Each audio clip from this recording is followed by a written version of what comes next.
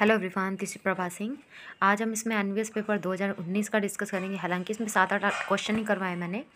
लेकिन इसमें क्या है कि हम फैक्ट भी पढ़ेंगे कि एक ही क्वेश्चन से और कौन सा क्वेश्चन बन सकते हैं राग बन सकते हैं वो भी डिस्कस करेंगे।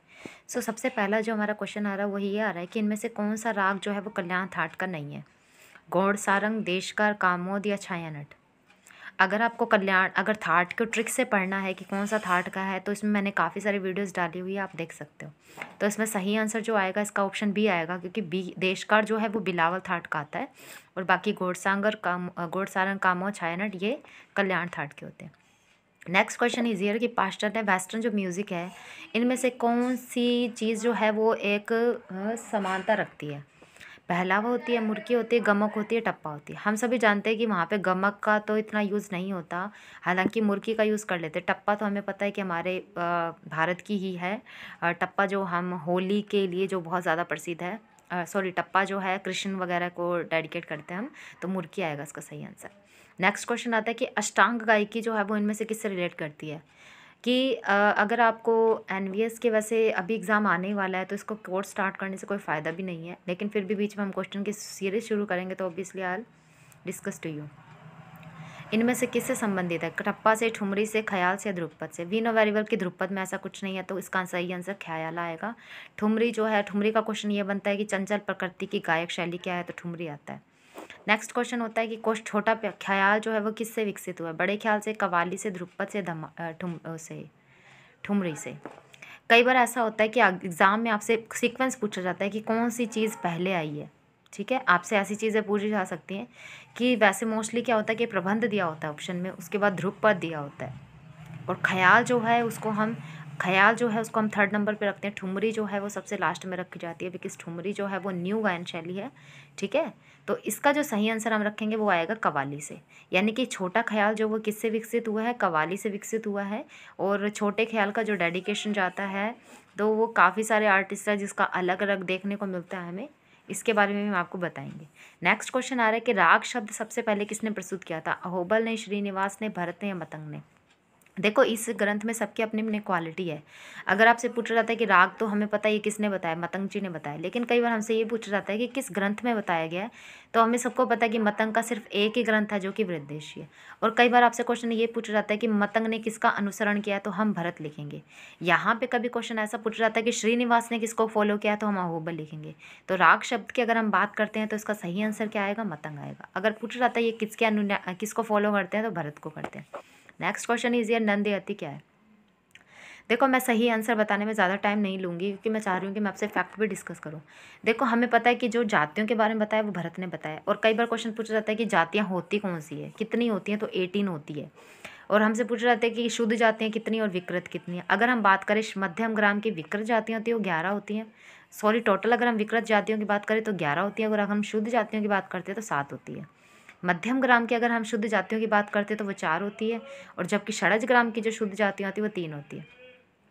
अगर हम बात करें कि मध्यम ग्राम में शुद्ध जातियाँ कितनी होती है तो वो तीन होती है, और बाकी जो सात होती है, जो आठ होती है, वो विकृत होती है। जबकि मध्यम ग्राम में विकृत जो होती है, वो तीन होती है। षडज ग्राम में जो विकृत होती है, वो तीन होती है, ठीक है? बाकी चार जो होती है, वो शुद्ध जाति होती है तो इसका सही आंसर क्या आएगा? जाति से। जाति से रिलेटेड है, क्योंकि ये नंदयति जो है, वो विकृत जाति है, ठीक है?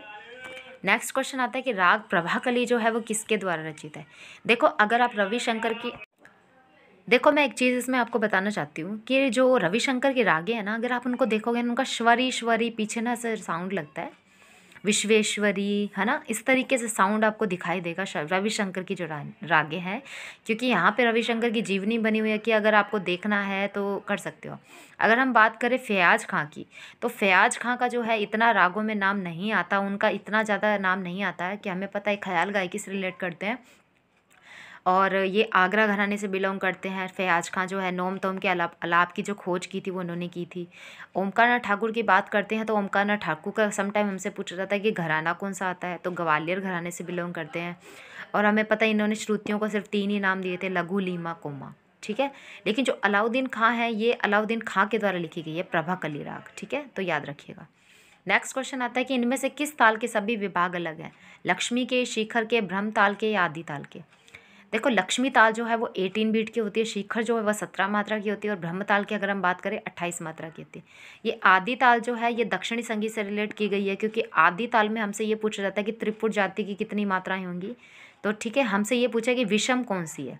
अगर आप विषम को निकालना है तो विषम को निकालने के लिए आपको इसको टू से डिवाइड करोगे ना तो आपको पता चलेगा। जो जो टू से डिवाइड हो रही है, इट्स मीन वो विषम ताल है।